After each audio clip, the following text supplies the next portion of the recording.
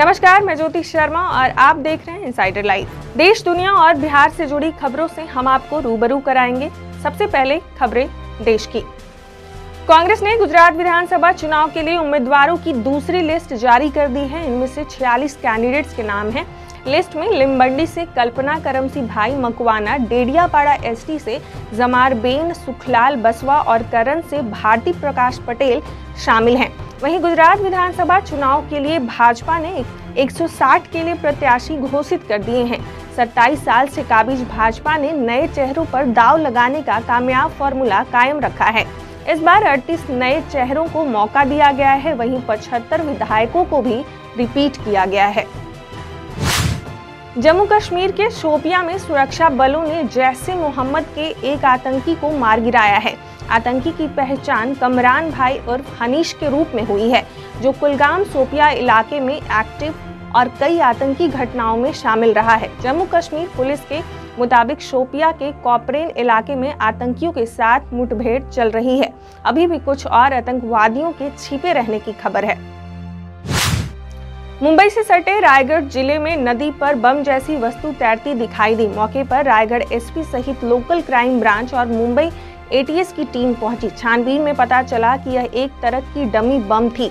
SP Somnath घारगे का कहना है कि यह कैसे आई, कहाँ से आई, उसकी जाँच की जा रही है। सारी सामग्री पानी के अंदर थी, इसलिए उसकी ब्लास्ट की कैपेसिटी खत्म हो गई।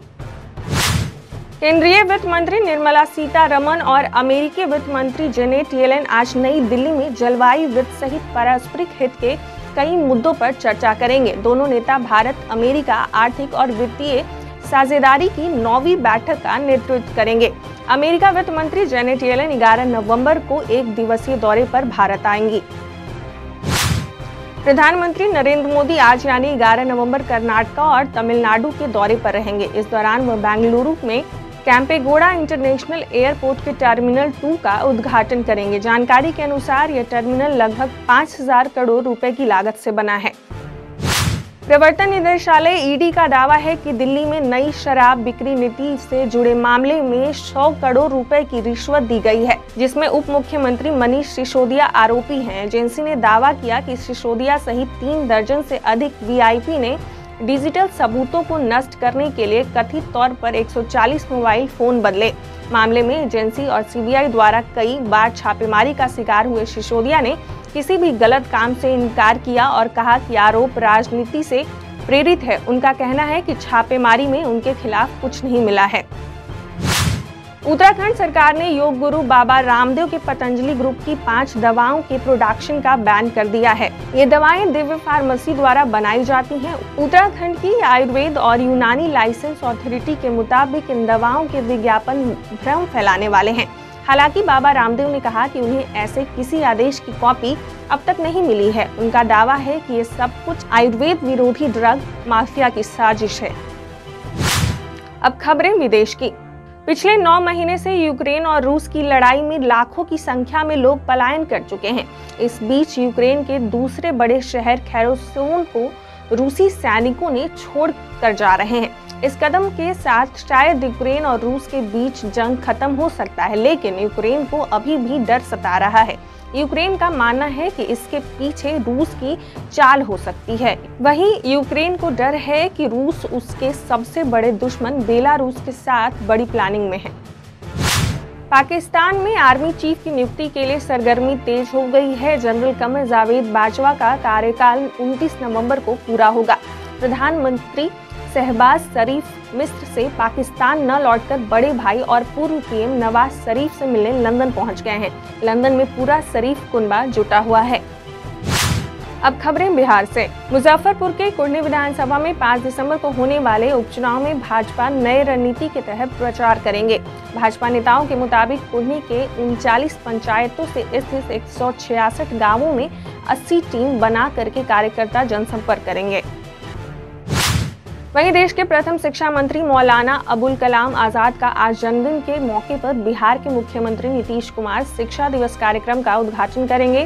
कार्यक्रम का आयोजन पटना के श्री कृष्ण मेमोरियल हॉल में होगा। सीएम नीतीश के साथ वित्त मंत्री विजय कुमार चौधरी और शिक्षा मंत्री चंद्रशेखर भी मौजूद रहेंगे। वहीं मुंगेर के धरहरा में पुलिस कस्टडी में एक शख्स की मौत हो गई है। मौत के बाद परिजनों ने जमकर हंगामा किया। वहीं पुलिस का दावा है कि यह एक हादसा है। मृतक की पहचान नालंदा जिला के सरमे थाना अंतर्गत हुसैना गाँव के विनेश्वर मांझी के बेटे अशोक मांझी के रूप में की गई है। जानकारी के अनुसार शराब पीने के आरोप में पकड़ा गया था। बिहार के कुर्नी विधानसभा सीट पर उपचुनाव होने वाला है। इसको लेकर तमाम राजनीतिक पार्टियाँ अपनी अपनी ताकत लगा रही हैं। इसी बीच अब बिहार भाजपा के प्रभारी और राष्ट्रीय महामंत्री विनोद ताबड़े भी पटना आने की तैयारी कर रहे हैं। अगले सप्ताह 15 नवंबर को वे दो दिवसीय दौरे पर पटना आएँगे। विनोद तावड़े ने दरभंगा और भागलपुर में पार्टी पदाधिकारियों की बैठक बुलाई। उनके आगमन को लेकर पार्टी तैयारियों में जुट गई है। इस दौरान तावड़े दरभंगा में नौ जिला के पार्टी पदाधिकारियों के साथ संगठनात्मक गतिविधियों की समीक्षा करेंगे। इसके दूसरे दिन 16 नवंबर को वे भागलपुर जाएँगे और कार्यक्रम में हिस्सा भी लेंगे। ज्ञान की धरती बोध गया में दलाई लामा के आगमन का समय नज़दीक आता जा रहा है। वह करीब ढाई वर्ष बाद यहाँ आ रहे हैं। कोरोना की वजह से बीते दो वर्षों से उनका आना नहीं हो सका था। इससे पूर्व अक्सर दिसंबर में ज्ञान की धरती पर आते रहे हैं। साथ ही प्रवचन भी देते हैं। सूत्रों का कहना है कि 20 दिसंबर को दलाई लामा बोध गया में आ जाएँगे और जनवरी तक प्रवास पर रहेंगे। अब खबरें खेल जगत की। टी ट्वेंटी वर्ल्ड कप के सेमीफाइनल में बीते दिन भारत के सामने इंग्लैंड था और ऐसे में पूरे देश को उम्मीद थी कि टीम इंडिया फाइनल्स में पहुँच जाएगी और पाकिस्तान को मात देगी, लेकिन इंग्लैंड से टीम इंडिया को मात मिली और टी वर्ल्ड कप का इस बार सफ़र खत्म हो गया। इस हार के बाद से टीम इंडिया को लेकर अलग अलग तरह के रिएक्शन देखने को मिल रहे हैं। ऐसे में अजय देवगन ने टीम इंडिया के पक्ष में अपनी बात इंस्टाग्राम पर पोस्ट की है। पोस्ट में उन्होंने लिखा, आपको हमेशा पूरे देश के जीतने के सपनों को हासिल करने के लिए जान लगाते हुए देखने पर चेयर करने का अनुभव हमेशा शानदार रहा है। हालाँकि आपके फिनाले का सफ़र थोड़ा छोटा रहा, बावजूद इसके हमने इसका हर पल एंजॉय किया। मैं आप पर पूरे देश की ओर से टकटकी लगाकर देख, देखने की वजह से पड़ने वाले दबाव की कल्पना भी नहीं कर सकता। फ़िलहाल के लिए इतना ही। बाकी की खबरों के लिए इंसाइडर लाइव के साथ बने रहें।